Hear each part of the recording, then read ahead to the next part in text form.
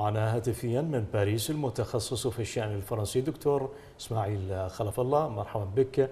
كيف ترى إذا تغير موقف رئيس ماكرون تجاه التظاهرات المستمرة؟ مرحبا بكم تحية لكم وللمشاهدين الكرام. آه، أنا كنت الآن كنت أستمع لمداخلة آه، وزير الداخلية أمام البرلمان فيما يخص آه، الترتيبات أو ما ستقوم به الحكومة. الظاهر أن الرئيس ماكرون أصبح اليوم آه، أعتقد أنه آه، بدأ يقتنع على أن يحاور الأحزاب المعارضة ومن خلالها هذه الحركة التي تسمى حركة السترات الصفراء والتي هذا هذا الحوار لو كان في البداية لما وصلت الأمور إلى هذا الحد آه، هل ثبت أنه سيحاور يعني أصحاب السترات الصفر أو هذه الأحزاب؟ نعم هو الآن اليوم بدأت بدأت بدأ الاستماع اليوم رئيس أو الوزير الأول بدأ يستمع إلى الأحزاب المعارضة وسيستمع كذلك إلى الممثلي السترات الصفراء ولكن هناك المشكلة التي تواجهها الحكومة اليوم هي أن هؤلاء الممثلي السترات الصفراء يعني هناك يعني تمثيل أفقي وليس هناك تمثيل عمودي بالتالي فممكن هنا ستكون الصعوبة في من سيمثل حقيقة هذه الحركة. لا أقول يعني هل ترى أن ماكرون يعني في أثناء هذه هذا اللقاء إن حصل لديه حل جاهز لأزمة التظاهرات الأخيرة؟ هو من خلال ما صرح ما صرح به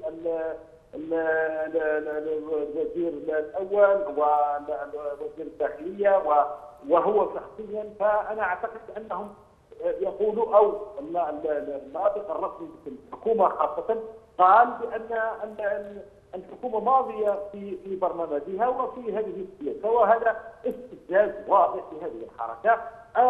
أرى كذلك أن ماكرون كان من المفروض عندما جاء إلى من الأرجنتين كان من المفروض أن تكون أن أن يعني يباشر يباشر مباشرة ان ان ان لقاء هذه الممثلين هذه الحركة.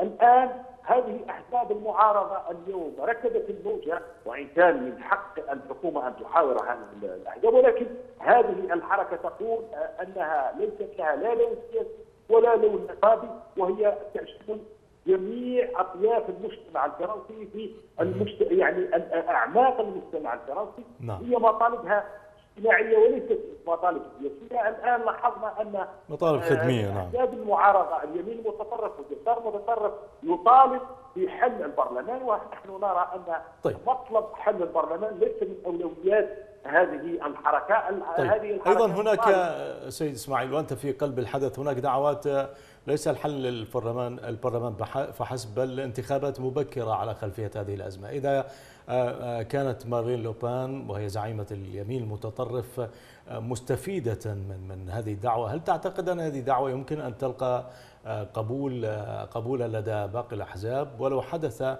كيف ترى مستقبل ماكرون؟